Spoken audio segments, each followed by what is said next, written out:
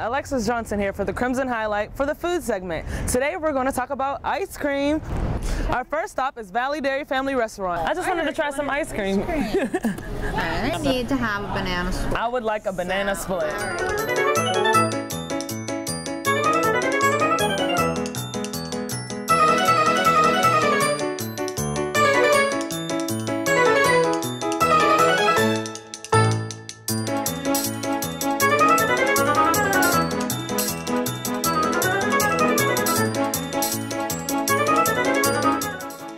Wow. All American banana That looks delicious. Can you Yeah. tell me?